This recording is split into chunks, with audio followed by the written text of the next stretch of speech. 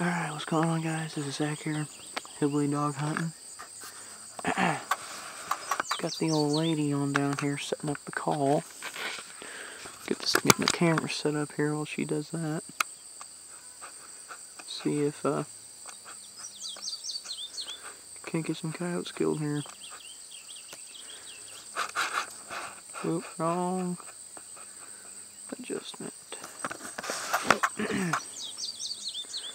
Anyhow, it's a beautiful day here. Beautiful area to be hunting.